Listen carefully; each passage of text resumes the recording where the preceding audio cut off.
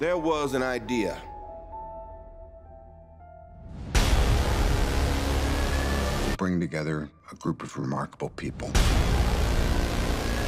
To see if we could become something more.